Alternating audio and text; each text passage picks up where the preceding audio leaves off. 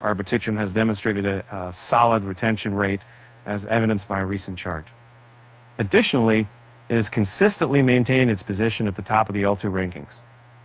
According to a recent chart released by Token Terminal, Arbitrum has experienced a respectable retention rate over the past couple of months. This retention rate is calculated based on today the number of active monthly users.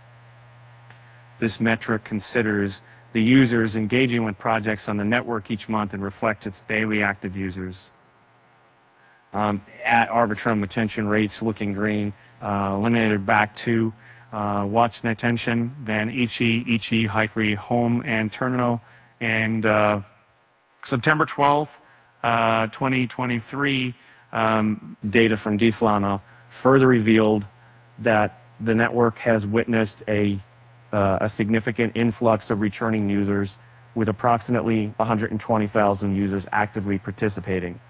However, the number of new users joining the platform has been comparatively low compared to the active returning user base. Um, despite this lower influx of new users, um, the active user community uh, has made substantial contributions to the network's uh, overall volume and, and total uh, value locked.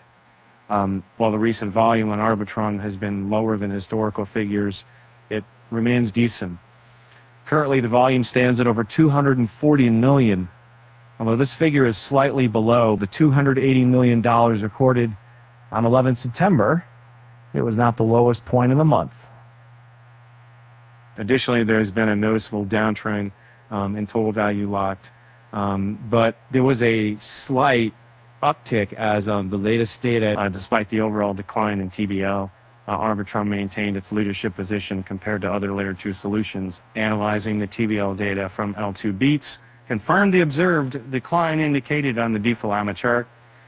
L2 Beats data revealed a TVL decrease of more than 3% as a victim made me. So let's However, despite this decline, Arbitrum maintained its prominent position among other layer 2 solutions. The data on the chart displayed that Arbitrum held over 54% of the L2 market will make educated to save large people um, has not just in contrast the second highest TVL among the L2s accounted for just over 20% of the market share underscoring Arbitrum's significant dominance in recent days, Arbitrum has experienced some significant sell-offs from its larger holders.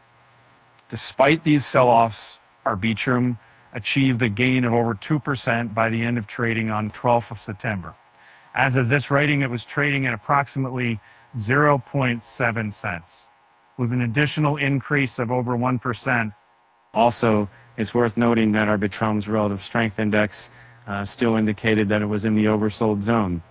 However, there were visible signs of an upward trend as of this writing. Additionally, a recent post on Lookonchain revealed that certain whales were actively accumulating ARB despite the sell-offs. According to the post, one whale invested a significant sum of 1.823 million. They do not have a significance